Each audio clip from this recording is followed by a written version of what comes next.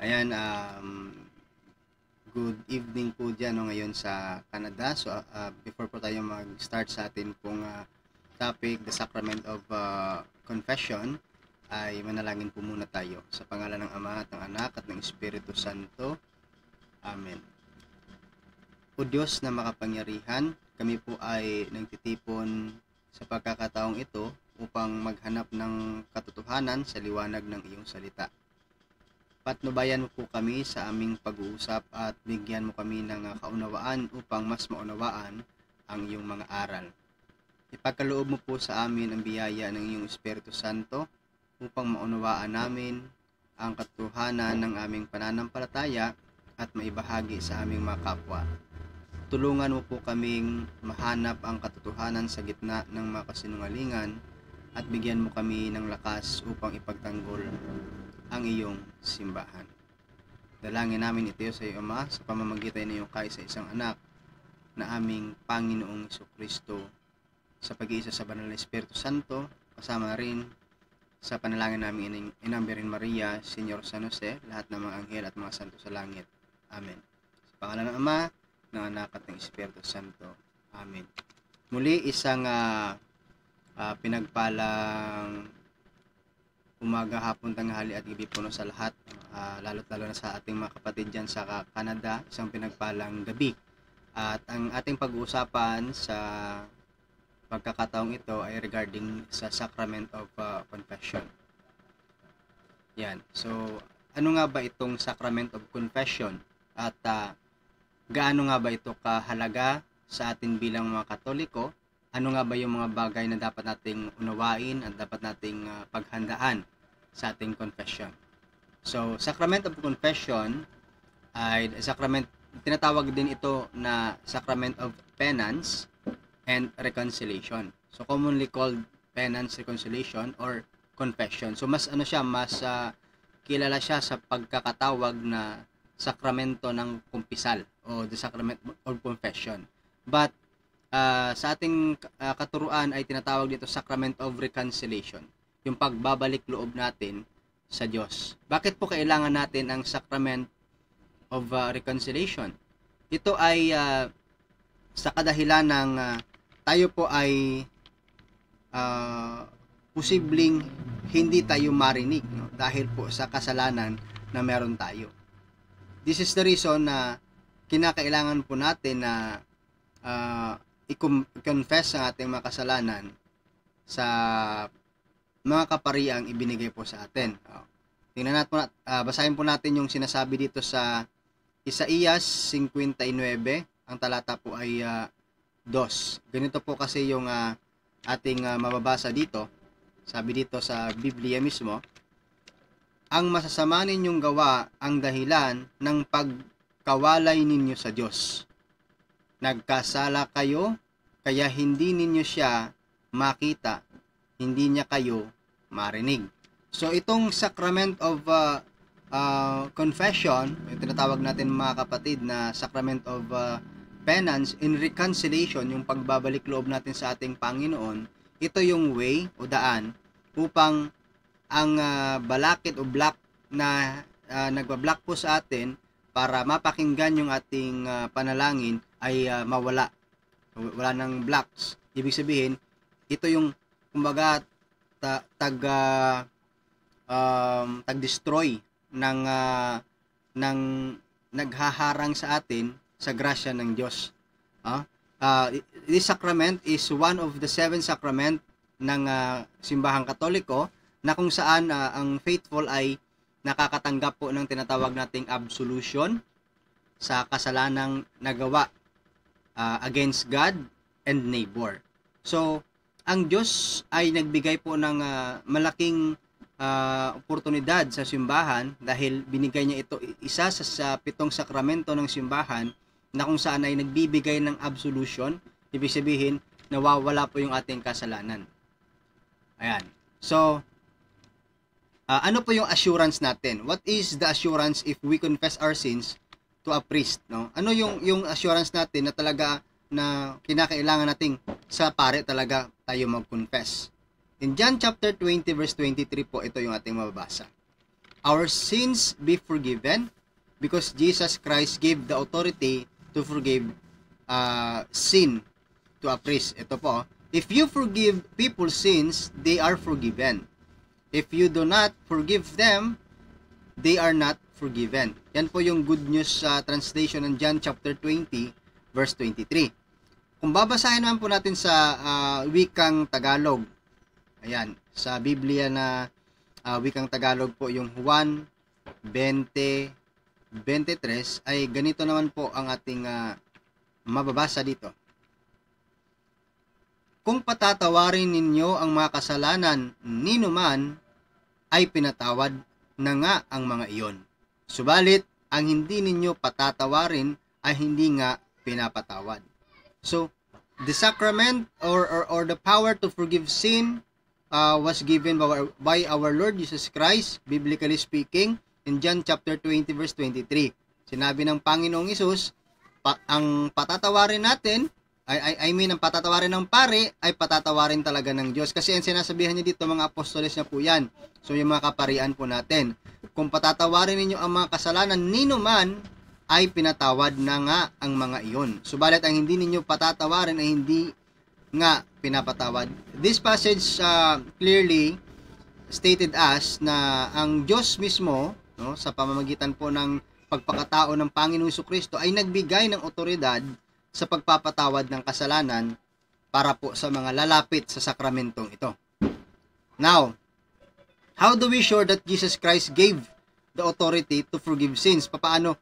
Grabe no, may mga may mga objections, questions pa po tayo na uh, kinakailangan po natin talagang uh, malaman no? at uh, meron talaga mga doubts somehow sa atin po na uh, may mga ma-encounter po tayo na nagsasabi, sigurado ka ba talaga na ang Panginoong Hesus ang nagbibigay ng otoridad sa mga kaparian? So well, ito po mga kapatid, oh, sa uh, isa po sa mga apostoles ng ating Panginoong Hesus ay si San Pedro. At hindi lang po siya isang apostoles, uh, he is also the first pope of the Catholic Church. Ano po yung sinabi niya sa unang Pedro 2.5? Basahin po natin sa wiki English ng, uh, ng Good News.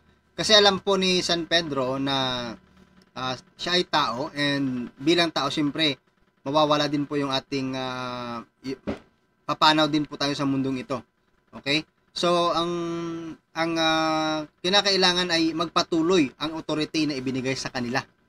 So bilang siya na nakatanggap ng authority in John chapter 20 verse 23, sino po ang papasahan niya ng authority? Ito po ah sa 1 Peter 2:5 Come as a living stone and let yourselves be used in building the spiritual temple, where you will serve as holy priest, to offer spiritual and acceptable sacrifices to God through Jesus Christ. So, ito po malinaw. Holy priest po ang uh, binigyan no ng uh, ng uh, o pinasahan ng authority na natanggap po ni San Pedro. Kung babasahin naman po natin ito sa wikang Tagalog, ganito naman po mga kapatid, ang ating pong uh, mababasa sa Bibliang ito.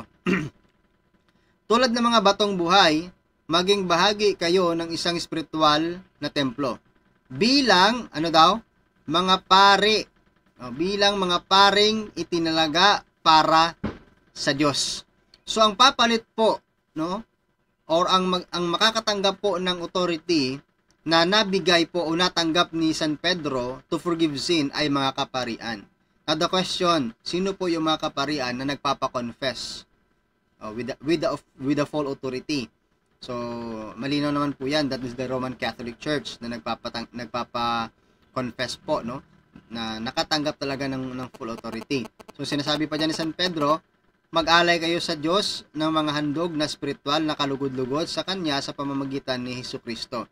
So alam niyo po mga kapatid, ay uh, after na mag-confess po tayo sa isang pare, ang pare po ay lumuluhod diyan sa altar, no? Nag-aalay din po 'yan ng ng handog spiritual na kalugod-lugod no sa uh, harap ng ating Panginoong Kristo. Kasi uh, they are also mere mortals, no? Tao lang din po sila, pero sila yung tao na nabigyan ng extraordinary uh, opportunity na pag, sa pamamagitan po nila ay mapapatawad yung ating mga kasalanan because they are ordained uh, Catholic priest. Okay. Now, As we proceed, ito po. Um, uh, ayan po, no? Napaliwanag na po natin yan na, na si San Pedro po ang sinasabi diyan na isa sa kasamahan po ni uh, ng ating Panginoong Kristo nung sabihin niya po na um, ang sino man patawarin niyo ninyo dito sa lupa ay pinatawad na nga, ang hindi pinatawad ay hindi nga pinatawad. So, uh, ulitin ko po na siya ay nakatanggap ng authority no, sa John chapter 20 verse 23. Uh, tsaka siya, siya din po ang uh, ang uh, nagpasa ng authority ito sa mga kaparian. So isa po sa sa pagpapa uh, patunay po natin uh, sa John chapter 20 verse 24, when our Lord Jesus Christ appeared to the disciple when he was resurrected, only Saint Thomas is not there in the 11 apostle. Bakit po natin binabanggit ito? Dahil ito ay pagpapatunay na si San Pedro talaga ay nandoon no na nang siya po ay uh, ay nakatanggap ng otoridad no sa pag uh, papatawad ng kasalanan. Ito po, uh, but Thomas who was called the twin, one of the twelve was not with them when Jesus came sa John chapter 20 verse 24. So, ang binabasa, binasa natin kanina, ang 2023, na ibinigay ang authority sa mga apostoles. So, they are they are the priest of our our God. Then, second, before the Lord our uh, our Lord Jesus Christ appeared to his disciple, the two Marys went to the tomb where the Lord Jesus buried. They received a message. Ano yung message na natanggap po nila? Ito, no? ito isang patunay pa rin na si San Pedro talaga ay nakatanggap ng authority to forgive sin at naipasa niya ito sa mga kaparian natin ngayon. Sa Mark chapter 16, 7, 7 ng uh, New Revised uh, Standard Version Catholic Edition or NRSVCE, But go, tell uh, his disciples and Peter that he is going ahead of you to Galilee. There you will see him just as he told you. Yan. So, si San Pedro talaga ay nandoon no, during the time na nang na ang Panginoong Isus ay nagpakita. Third, it is so clear that Saint Peter is there when the Lord Jesus gave the authority of forgiving sin. This is what the Lord Jesus said, do not be afraid. Go tell my brothers to go to Galilee. In, in Matthew chapter 28 verse 10. Ayan. So, uh, malinaw po dito mga kapatid at mga kaibigan na kung tayo po ay merong mga nagawang kasalanan po ay wag po tayong wag po nating antayin pa na uh, patagalin pa ito kundi lumapit tayo sa sakramento kasi ito yung sakramentong ito.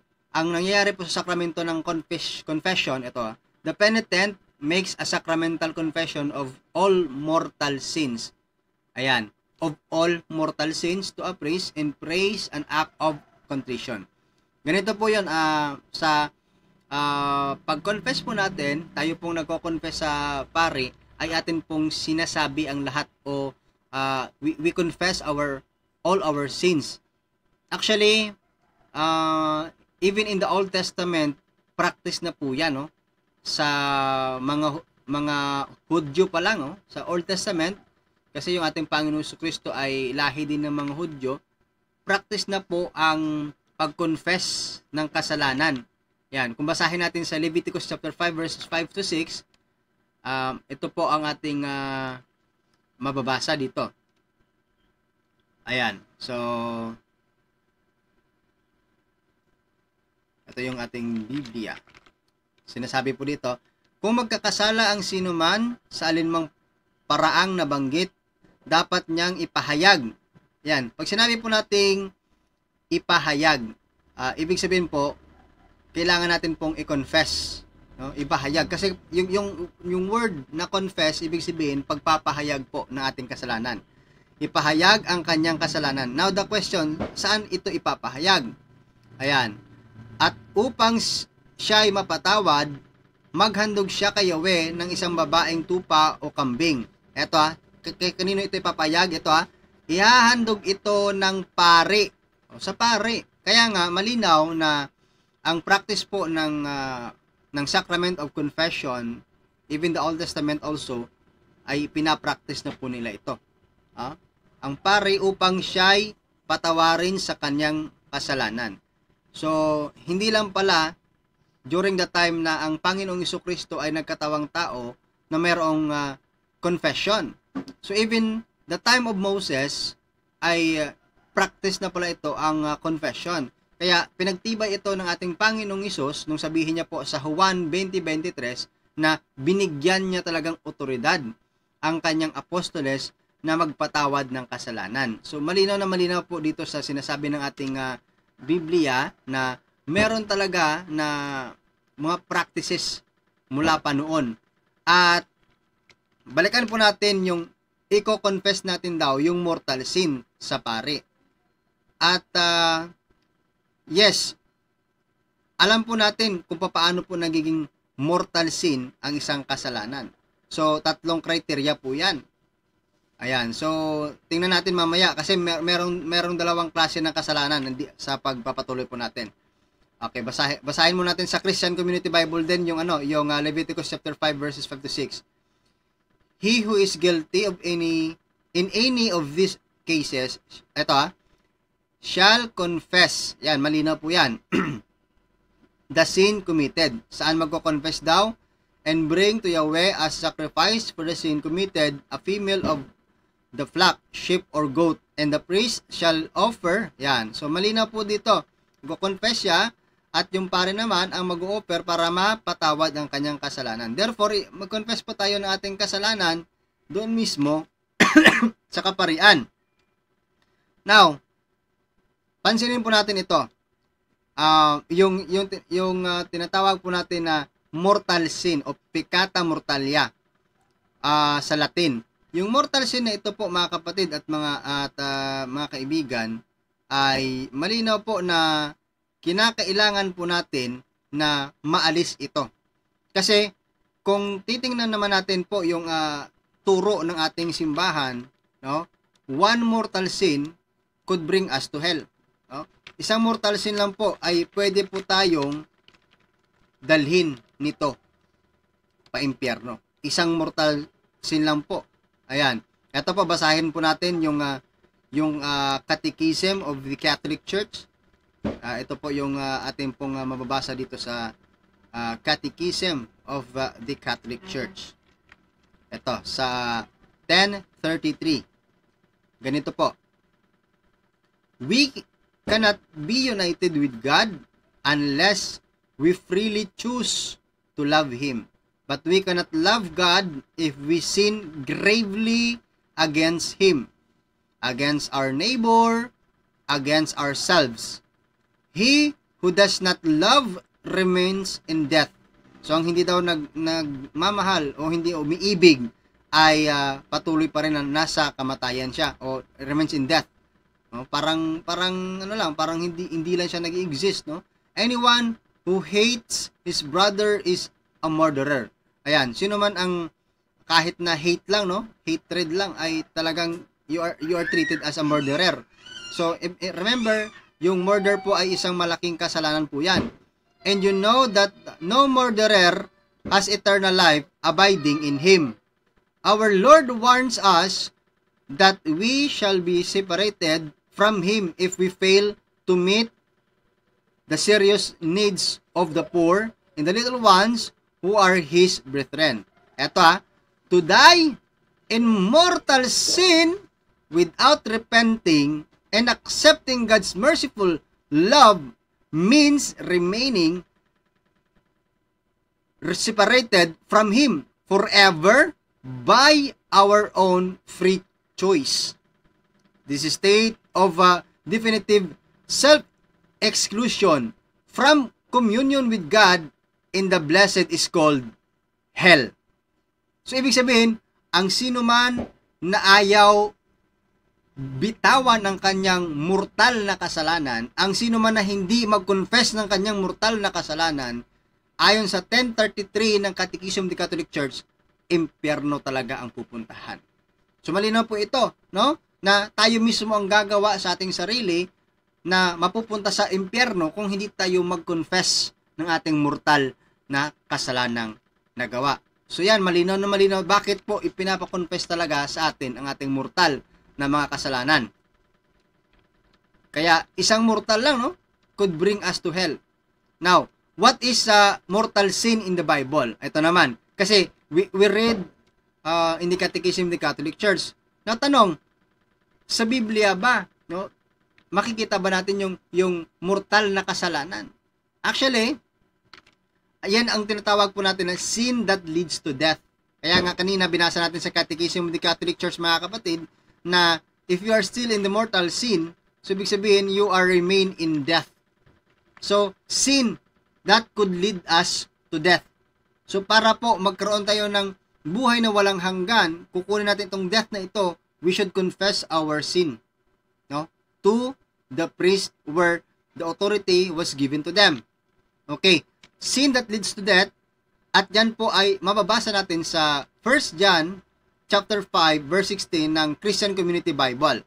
If you see your brother committing sin, ayan, may may dalawa kasing klase yung yung actual na kasalanan.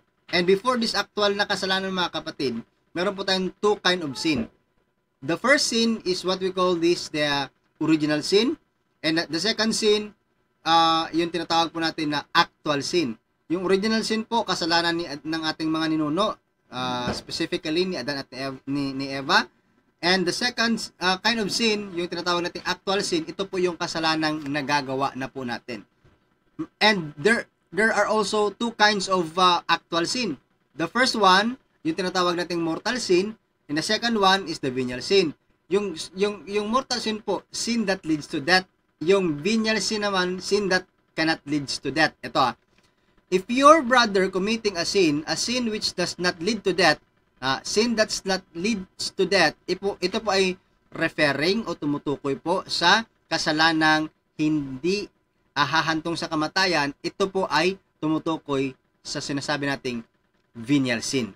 Uh, pray for them sa mga naka naka naka-commit po ng venial sin kaya nga you can direct your to God your sin if that is just a venial sin. Sin that not leads to death. Kasi ginagamit po nila itong 1 John chapter 2 verse 9 na uh, confess your sin to God. Pero sa first John din pala mababasa natin yung yung kinds of sin. Dalawa pala 'yun. Yung ibig sabihin pala sa first John 2:9, 'yun ay venial sin, yung sin that not leads to death. Yun, you can direct it to God. Pero kapag mortal sin na 'yan, hindi po pwede. Ayan. Kasi sabi po dito, "And God will give life to your brother." Sabi dito, I speak of course of sin which does not lead to death. Bakit daw? There is also a sin that lead, leads to death. Kasi meron ding kasalanan na hahantong sa kamatayan. I do not speak of praying about this. So, hindi mo pwedeng i-direct yan. That's why meron po tayong sacrament of reconciliation. Kaya babalik tayo sa Diyos if we receive the sacrament na ibinigay o pinagkaloob po sa atin ng ating Panginoong Kristo. Basahin kaya natin sa, sa, sa isang uh, sa ibang version po ng Biblia, sa magandang balita Biblia, uh, Tagalog, yung uh, unang Juan 5 um, 16. Ganito po yung ating uh, mababasa dito. Bible. Ayan. Kung makita nino man na ang kanyang kapatid ay gumagawa ng kasalanang hindi, ito ah, sinasabi ko kanina, yung kasalanang hindi hahantong sa kamatayan, ito po yung venial sin. Anong gagawin? Ipanalangin niya ang kapatid na iyon sa Diyos na magbibigay sa taong iyon ng bagong buhay. Pwede siya i-direct to God kung ang kasalanan ay venial lamang. Sabi pa dito ni San Juan, ito'y para sa mga kapatid na ang kasalanan ay hindi hahantong sa kamatayan. May kasalanang hahantong sa kamatayan. This is the mortal sin. Ano ang sinasabi dito? At ang at hindi ko sinasabing idalangin ninyo ang sinumang gumagawa nito. So hindi siya pwedeng i-direct to God yung uh, yung mortal sin. Therefore, tama talaga na binigyan tayo ng ating Panginoong Kristo ng sakramentong ito. In which ang sakramentong ito ay makakapagpabalik pa sa atin sa ating relasyon sa Diyos. Ayan. Now, balik tayo sa tanong, why do we have to confess our sins to a priest? Bakit kinakailangan po natin talagang i-confess ang ating kasalanan sa mga kaparian? Dahil sinasabi natin kanina, na binasa natin, dahil ang authority ay ibinigay po sa mga kaparian. In John chapter 20 verse 23, ibinigay sa kanila. Clear, napakaklaro po niyan. Number number 2, the priest then assigns a penance and imparts absolution in the name of the Holy Trinity. The Father, the Son, which is our Lord Jesus Christ, in the Holy Spirit. So, kinakailangan po natin matanggap ang sacrament of, uh, of reconciliation para tayo po ay bumalik sa Diyos at matanggap din po natin itong absolution sa pangalan mismo ng Diyos na nag-iisa lamang ang Ama, Anak at ang Espiritu Santo. Ngayon, dako po tayo sa sinasabi nating penance. Ano nga ba itong penance? Okay.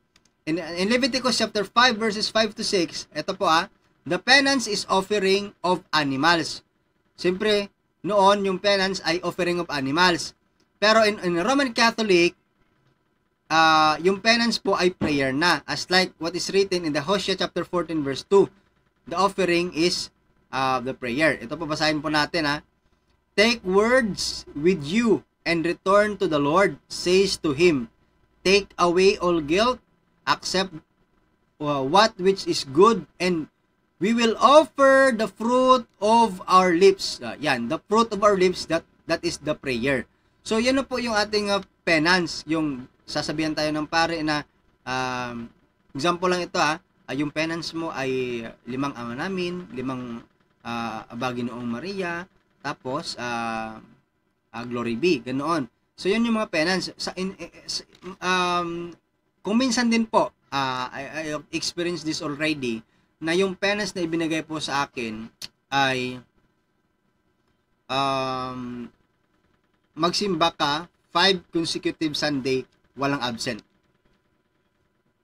Meron din ganyang penance na 5 consecutive uh, Sunday walang absent. So ibig sabihin part pa po 'yun ng ating um, reconciliation process sa sacrament of confession na atin pong natanggap. Ayan. So ngayon, uh, ang tanong, bakit po, no? Why prayer is the penance in that offering? Bakit daw? Ito, ang uh, sagot po natin sa Hebrews chapter 10 verse 4, no? Christ offered himself because the offering of animals cannot take away sins. O, yan, no? basahin po natin sa NRSBCE ng uh, Hebrews chapter 10 verse 4 to 5. For it is impossible, uh, imposible talaga eh, for the blood of bulls and the goats to take away sins. Imposible. Consequently, when Christ came into the world, He said, Sacrifices and offerings you have not desired, but a body you have prepared for me. That's why, nung uh, nagkatawang tao po ang ating Panginoon, tinuruan niya po tayo how to pray. Especially, uh, yung mga apostolis na po, no? Sa Matthew chapter 6, uh, verses 9 to, to 13, uh, uh, 9 to 11, tinuro niya po yung uh, Our Father prayer. So ito po, no, malinaw na malinaw po diyan, uh, ah, klarong-klaro na bakit uh, prayer na. Kaya nga, pero hindi lang hindi lang talaga naka-stick yan sa prayer lang. Kaya sinasabi ko kanina, meron din na uh, mga pare na nagbibigay ng uh, penance. Yung absolution is prayer po 'yon, no? I I, I absolve you uh, in the Father and Son and the Holy Spirit. Ito mamaya ma- makikita po natin. Pero yung penance naman po, yung penance is kumbaga kung um, uh, part yun kasi ng reparation of damage, yung penance. Uh, yes, na, naka, na-damage na po yun, pero paano natin ma-repair yung damage? Yan yung reparation of damage natin, ay gagawa tayo ng penance. So, some, some of the priests advises us to have penance na uh, limang ama namin, limang mag, ng bagay ng Maria. Meron din mga pare na nagsasabi na five consecutive Sunday, walang absent, or pwede rin na uh, gumawa ka ng corporal works of mercy. Depende po sa um, penance na ibinibigay ng pare sa atin. So, ang gagawin lang po natin, sundin natin kung anong penance na ipinapagawa po sa atin. Ayan. So, that's why when, when, when we confess, the penance is prayer taught by uh, the Bible. Yung sinasabi ko kanina, yung Our Father, at uh, yung Hail Mary. Our Father po ay Matthew 6, 9-13. Ang Hail Mary naman po ay Luke chapter 1, verse 28. Now, puntahan natin yung uh, traditional formula of absolution. Yung sabi ko kanina yung yung uh, yung prayer.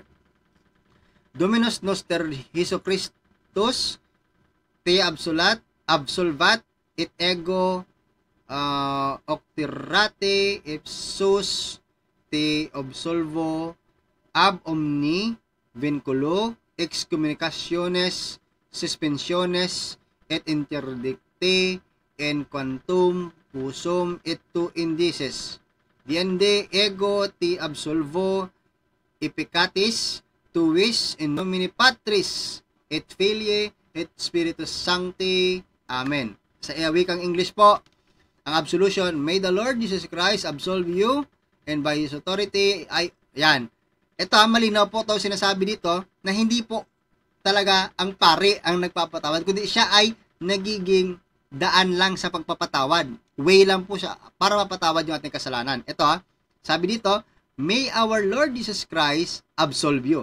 Uh, Panginoong Isus pa rin. At sinasabi din to, May His, ang His nito ay ang ating Panginoong Isus Kristo, authority, I absolve you. So, sa authority, yung John chapter 20 verse 23, authority po yun na ibinigay kay San Pedro ipinasa sa mga kaparian. Ayan. From every bond of excommunication, suspension, uh, and interdict. Ayan. So far as my power allows and your needs require. Tapos, yung pare ay mag-sign of the cross. Thereupon, I absolve you from your sins in the name of the Father and of the Son and of the Holy Spirit. Amen. Tapos, ang confession. Ayan. And then, yung sinasabi ko po, no, after, uh, ang tatanggapin mo natin sa sacrament of confession ay absolution at saka penance. So, dapat po kung absolution at penance ay gawin po natin yan, no? Gawin po natin yan, no? Uh, yung absolution ay pare na yung mag-absolve sa atin. Din yung penance, gawin po talaga natin yan. Kasi ang penance, part of the process ng sacrament of reconciliation o yung pagbabalik loob po natin sa ating Panginoon. So na, yan po ay magandang magandang uh, proseso po para sa atin na matanggap po natin ang uh, ang grasya ng ating Panginoon. Okay. Now, ayan. So, maliban po sa kay San Pedro, dito rin po si San Pablo ay nai-practice niya rin po ang pagpapatawad ng kasalanan. Ah, yan. Kasi malinaw dito, the priest forgive a sin in the in the uh, presence of God. Yung binasa natin dito kanina, yung uh, sinasabi dito, may our Lord Jesus Christ absolve you and by His authority. Ito ay practice din ni, ni San Pablo. The priest forgive a sin in the presence of God as Saint Paul did. Saan, saan yan mababasa? Ikalawang Korinto 2.10. Basahin natin sa Christian Community Bible English. Ayan. The one you forgive, I also forgive. And, uh, and what I forgave, if ended I had anything to forgive, I forgave for your sake in the presence of Christ. Malinaw po yan na ang uh, ang practice po ng pagpapatawad ng kasalanan ay uh, pinapractice din po ni San Pablo. Ikalawang Korinto 2.10 na nababasa po natin, no? Ayan, kung basahin po natin dito sa magandang balita Biblia, ay uh, ganito naman po mga kapatid, oh, yung ating uh, mababasa dito.